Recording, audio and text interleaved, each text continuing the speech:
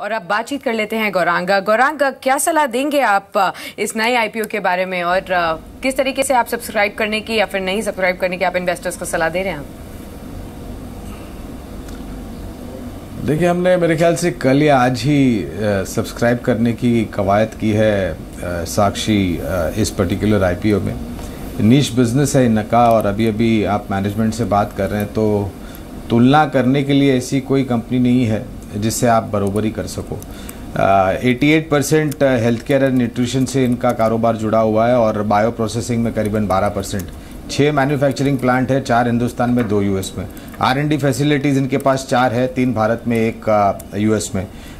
एक सौ एक करोड़ की डेट है, जो ये चालीस करोड़ के आसपास कम करेंगे और कुछ सालों बाद बिल्कुल डेट फ्री हो जाएगी कंपनी आ, मेरा ये मानना है कि जिस तरीके से इनके पास पेटेंट्स ऑलरेडी हैं और जो भी नए पेटेंट्स पाइपलाइन में हैं उसको लेकर के एक बहुत बड़ी अपॉर्चुनिटी हो सकती है। और जैसे जैसे यू नो ज़रूरत होती है वैसे वैसे ये प्रोडक्ट डेवलप कर सकते हैं। ये एक बहुत बड़ी खूबी है इनके पास।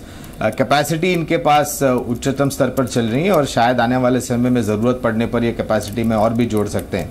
uh, मेरा मानना है अगर लंबी अवधि का नज़रिया है नीच बिज़नेस से सत्ताईस साल से ये कारोबार कर रहे हैं और इन सत्ताईस सालों में इन्होंने मुनाफा ही कमाया है, नुकसान कभी भी नहीं कमाया। कुछ एक अनिश्चितता प्रोडक्ट रिकॉल को लेकर के हुई थी कुछ समय पहले। अगर ऐसी परिस्थिति फिर से बड़े तौर पर खड़ी नहीं होती है तो मेरे ख्याल से भविष्य काफ़ी उज्जवल है कंपनी का। जी। चलो तो सब्सक्राइब की राय गौरांग की तरफ़ से भी इस को लेकर आई है। वरुण से बातचीत कर रहे थे, मथुरा से मौजूद है हमारे साथ। वरुण जी, नमस्कार। नमस्कार सर। नमस्कार वरुण सर हाँ? सर मेरा ये सवाल एक तो स्टोर वन रिटेल पे था। दो सौ चौबीस रूपए पे मैंने दस शेयर लिए थे लेकिन एक सवाल और था मेरा छोटा सा। पूछिए।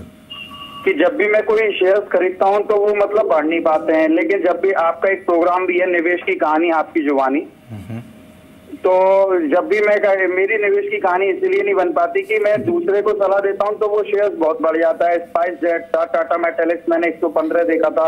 वेदांता मैंने अस्सी रुपए देखा था। इंडाल को मैंने साठ पैंसठ सत्तर रुपए देखा था। और वो सब यहाँ से डबल के लगभग हो गए हैं तीन तीन गुने हो गए हैं। Okay okay. सर uh... हाँ तो ये कैसे हो सकता है कि मैं जो कोई भी शेयर लूँ वो बिल्कुल स्थिर पड़ जाता है। अब आप store one retail quarter four में रिज़ल्ट पेश किए थे जब से एक एक मूव आया था।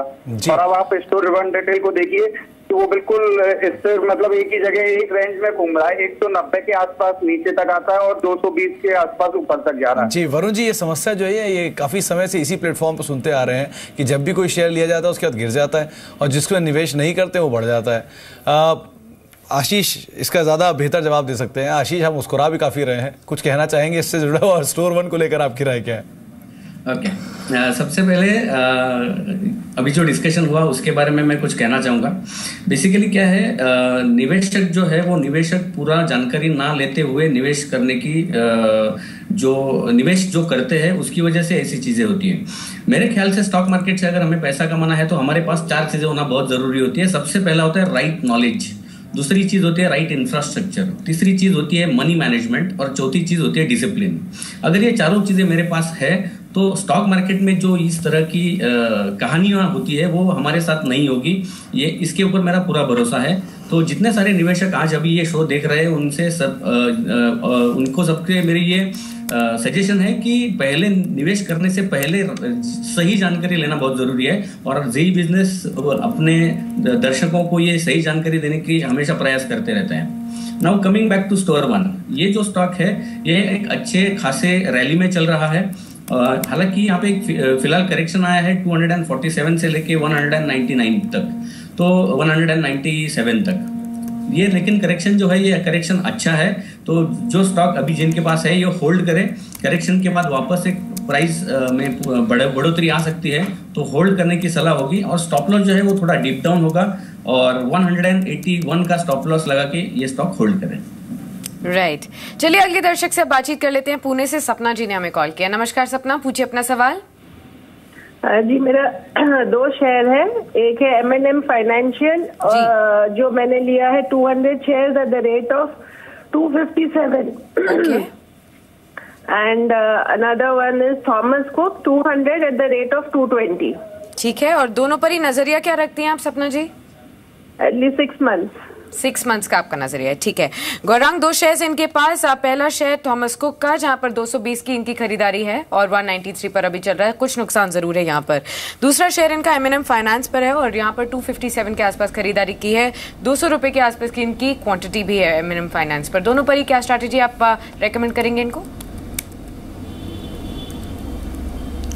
देखिए, पहले तो इनको गुजारिश करूँगा कि ये जो समय सीमा है, इनके पास इसको बढ़ा दे। खास करके एमएनएम फाइनेंस में। और वो इसलिए मैं बढ़ाने की कवायद कर रहा हूँ, साक्षी, क्योंकि ये जो बारिश का मौसम है, ये हाल फ़िलहाल तो शुरू हुआ है। इसका सकारात्मक रुझान आने के लिए नतीजे के ऊपर कम से कम नौ महीने या साल भर लग सकता है। क्योंकि जो बड़े तौर पर कारोबार है MNM फाइनेंस का, वो मध्यम ग्रामीण और ग्रामीण क्षेत्र से जुड़ा हुआ है। और financing and refinancing of agri and tractors तो ये सब चीज़ को ध्यान में रखते हुए आप अगर नज़रिया बढ़ा देते हैं, नौ महीने साल भर का करते हैं तो मेरे ख्याल से आपको यहाँ से काफ़ी कुछ और भी ज़्यादा फ़ायदा हो सकता है। थॉमस कुक पर दुविधा ये है कि जिस प्रकार से जियो पोलिटिकल सिचुएशन चल रही है, उसको ध्यान में रखते हुए इस क्षेत्र से जुड़े हुए शेयर में काफ़ी कुछ वोलेटिलिटी आने वाले समय में आ सकती है। ये हम निर्णायक तरीके से नहीं बता सकते कि आने वाले छः महीनों में, तीन महीनों में, साल भर में कहाँ पर किस प्रकार से क्या घटना हो सकती है। और ओवरऑल परफॉर्मेंस भी अगर आप देखने जाएँ तो थोड़ा बहुत साइडवेज टू अंडर परफॉर्मेंस रहा है। तो अगर ये यहाँ से निकलना चाहती हैं तो मैं इनको राय दूँगा यहाँ से निकल करके लंबी अवधि के नज़रिए से निजी बैंक आईसीआईसी बैंक में निवेश करें, जहाँ पर हमारी पॉजिटिव कवरेज है। तो आप यहाँ से निकल के आईसीआईसी बैंक में निवेश कर सकते हैं। आपको राय दी गई है। और थॉमस को ब्रादर अभी आधा फ़ीसदी नीचे कामकाज भी कर रहा है। करीब तिरानवे तीस के स्तरों पर ट्रेड करता हुआ। इस बीच कुछ शेयर्स को देखें जहाँ पे एक मूव है तो उसमें मिड कैप आईटी स्पेस में कुछ बाइंग आ रही है। सेलेक्टिव स्पेशली केपीआईटी टेक करीब दो परसेंट ऊपर अभी अभी आया है।